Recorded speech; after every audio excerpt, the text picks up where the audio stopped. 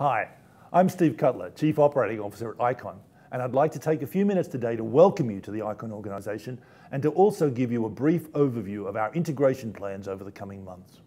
It's an exciting time for all of us, and we are delighted to be able to further differentiate and enhance our services through the expertise and capabilities of Aptiv. Our vision is to be the CRO partner of choice in drug development by delivering best-in-class information, solutions, and performance.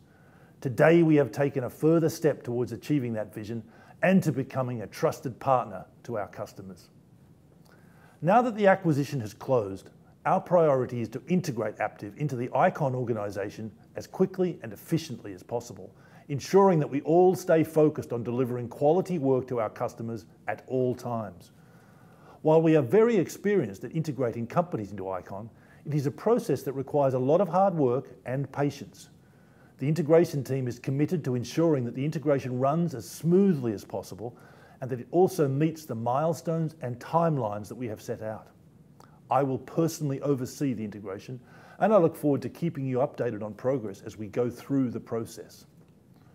So what can you expect over the next couple of months? Before the end of May, we aim to have reporting lines finalized for all Aptiv business functions, and at that time, we will communicate the new organizational structure to you.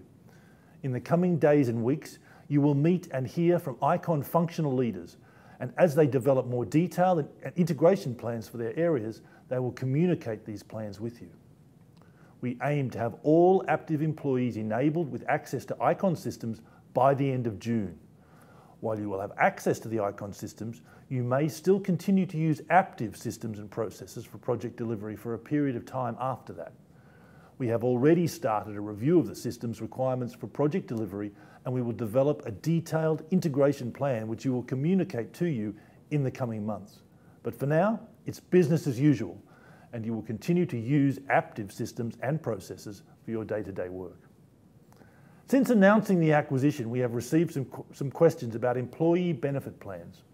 I'd like to reassure you that there will be no immediate change to your current employee benefits plan or your terms of employment.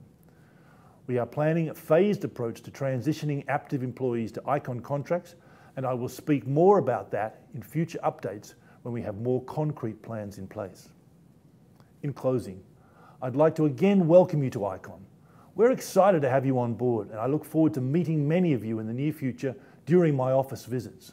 We are committed to keeping the communications channels open as we go through the integration process, and I encourage you to speak up if you have any questions or concerns. We will continue our weekly integration updates, and my leadership team will be on site in Aptiv offices regularly over the coming weeks to field any questions. In the meantime, let's all stay focused on delivering excellence to our customers and continue to help them drive innovation and efficiencies in their development programs. Thanks again, and welcome.